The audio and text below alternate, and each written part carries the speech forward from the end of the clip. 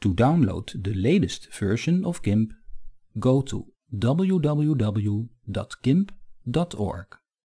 I see the latest version is 2.10.6. I click on download. The site thinks I am running Microsoft Windows, which is correct.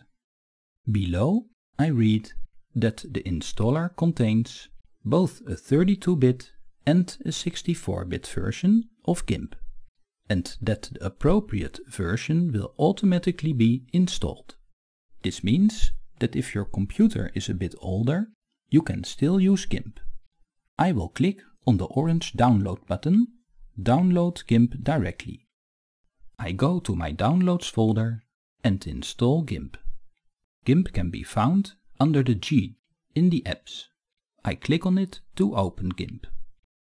GIMP 2.10 will open as a single window, but if you're seeing separate floating windows, go to Windows and choose Single Window Mode.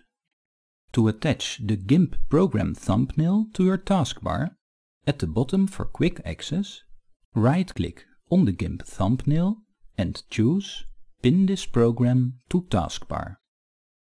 To close GIMP, you can go to File, Quit or you can click on the red Close button at the upper right corner. To open GIMP again, you can now click on the thumbnail in the taskbar.